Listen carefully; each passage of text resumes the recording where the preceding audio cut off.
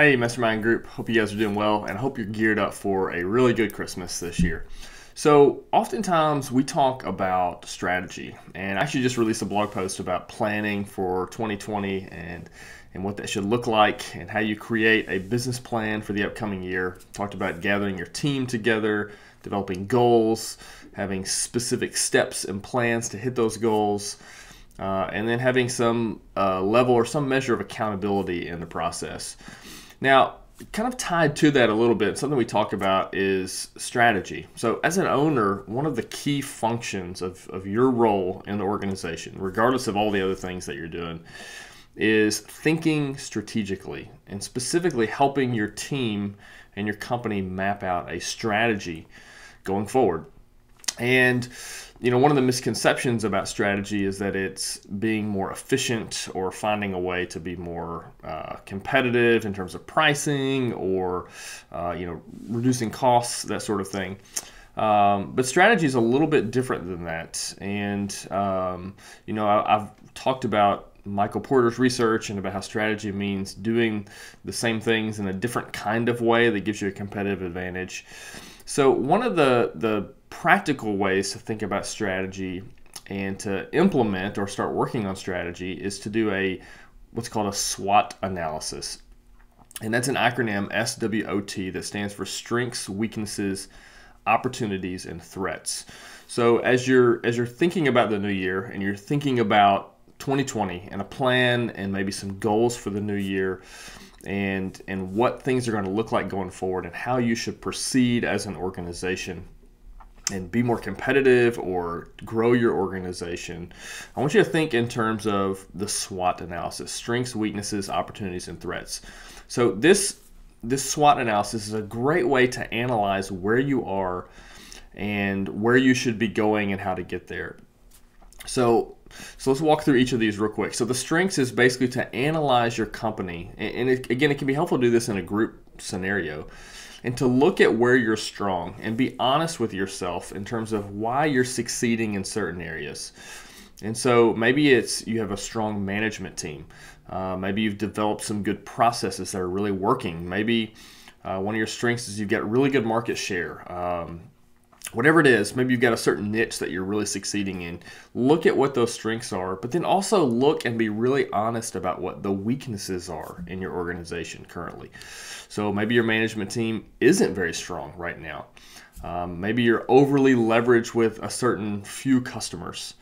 Um, maybe your operational processes are really weak. Maybe financially you're not as strong as you need to be. So, so look at where you're strong as an organization, but then also be very honest about where you're weak as an organization. So you can see this begins to paint a picture of where you're at as a company. Uh, so next you're looking at opportunities. So given your strengths, given your weaknesses, what opportunities are there out there for your organization? So maybe you are um, a, a strong player in your market, but maybe there's another market really close to you that you're not a strong player, but there's a great opportunity there because there's not a lot of competition there. Um, maybe opportunities would be that you don't have a big market share and you really do well in a certain niche, but there's a lot of room to expand um, in that niche. Maybe an acquisition is things that are potential opportunities for you. So these are things that are really going to help you assess what could be thought about in terms of goals for the upcoming year. Um, and then threats, this is a really good one. This is more of a long term thought. But threats are going to be things that are things that are looming out there in the future that could have an effect on your organization. So let me give you a couple of examples of, of what this might would look like. So in one of our markets, it's our bigger market. Um, it's a market that's been a little bit stagnant for us and our, our customer base is, is pretty small. And, um, and because of that, there's, there's not been a lot of growth in that area. Um, and we've really not put a lot of time there. So from an operational standpoint, we're, we're a little bit weak right there. Um, and and so it's made us really think about the threats that are out there and what we would need to do to mitigate those threats. Um, another another potential threat for us, and this, this may sound a little bit odd, is that we are saturated in a couple markets, meaning we have a big market share.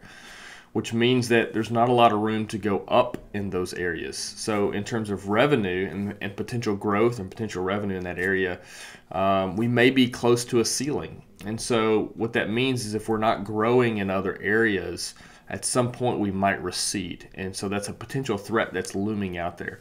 Uh, competition in certain areas.